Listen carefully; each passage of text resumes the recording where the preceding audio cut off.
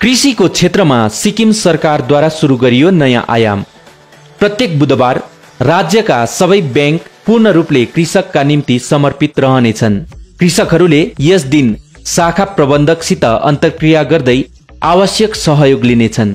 प्रत्येक महिनाको पहिलो बिहिबार कृषि बागवानी र पशुपालन विभागका अधिकारीगणको सबै ब्याङ्कका अधिकारी र सम्बन्धित हितधारकहरूसित सभा हुनेछ जहाँ कृषकहरूको प्रगति र उनीहरूले सामना गर्नु परेका चुनौतीबारे समीक्षा गरिनेछ। सभामा जिल्लाका योग्य कृषकहरूका निम्ति विभिन्न योजना र प्रोत्साहन राशिको तत्काल स्वीकृति गरिनेछ। सरकारले क्रेडिट मेला नामक नवीन कार्यक्रम सुरु गर्ने भएको छ।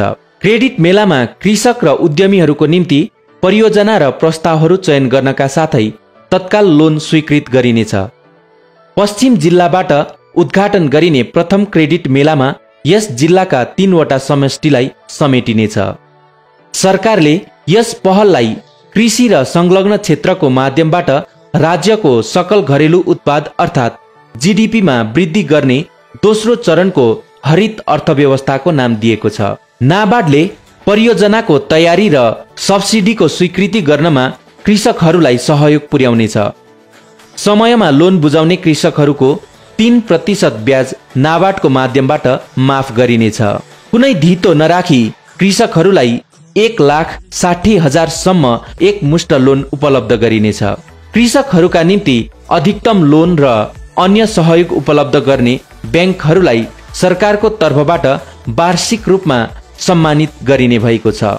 राज्यका कृषकहरू अनि विशेष गरी युवा पिँढीलाई कृषिको क्षेत्रमा प्रोत्साहित गरेर सिक्किमलाई सागसब्जी गाई पालन कुखुरा पालन इत्यादिको क्षेत्रमा आत्मनिर्भर बनाउने उद्देश्यले सरकारले यी विभिन्न सुविधा कार्यान्वित गर्ने पहल सुरु गरेको छ।